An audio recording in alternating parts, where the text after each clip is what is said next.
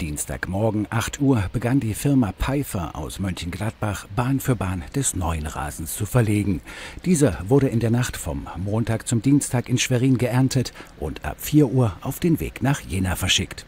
25 40 Tonner waren nötig, um die rund 7200 Quadratmeter Rasen zu transportieren. Jede Rolle hat ein Eigengewicht von einer Tonne. In Anbetracht dieser Tatsache war es erstaunlich, in welchem Tempo der Rollrasen verlegt wurde. Lediglich eineinhalb Tage dauerte es, um das komplette Spielfeld mit Rasen zu bedecken. Bis auf ein paar kleinere Arbeiten ist das Thema Spielfläche damit dann erst einmal abgeschlossen. Die Firma Streicher muss dann im Westen und im Süden noch äh, die Borden setzen, die aktuell noch fehlen und die Wasserrinnen noch setzen. Und wir müssen noch die Eckhülsen einbetonieren und die neuen Torpfosten äh, einbetonieren. Das wird aber alles mit, äh, mit äh, lasergesteuerter Technik eingemessen, dass das alles ordentlich symmetrisch ist. Äh, und dann sollte das Thema Rasen erstmal Geschichte sein.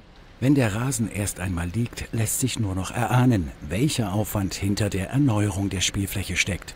In den vier Wochen Bauzeit wurde die 6 cm hohe Rasenfläche abgetragen und entsorgt.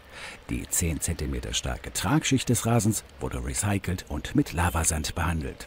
Danach wurde in frostsicherer Tiefe die neue Bewässerungsanlage eingebaut und anschließend die neue Rasenheizung installiert. Diese bietet im Gegensatz zur alten, die im Boden verblieben ist, erhebliche Vorteile. Die neue Rasenheizung liegt erstens weiter oben als die alte Rasenheizung. Das heißt, äh, die alte Rasenheizung lag ungefähr bei 25 bis 30 Zentimetern und die neue Rasenheizung liegt oben bei 15 Zentimetern. Die, die Abstände von den Heizungsrohren sind auch viel enger zusammen, so dass jetzt weniger Erdmasse durchwärmt werden muss und äh, die nächste Besonderheit ist, dass man ja in so einem Zun-Stadion extrem mit, mit Schattenwurf im Winter zu tun hat. Und die neue Rasenheizung kann man jetzt in Segmente abschiebern, sodass man zum Beispiel nur den östlichen Teil, der durchfroren ist, beheizen kann und der Rest wird dann von der Sonne aufgetaut. So ist die extrem energiesparend. Außerdem kann die Rasenheizung im Sommer auch als Kühlung dienen und somit sicherstellen, dass das Grün ganzjährig optimale Bedingungen hat.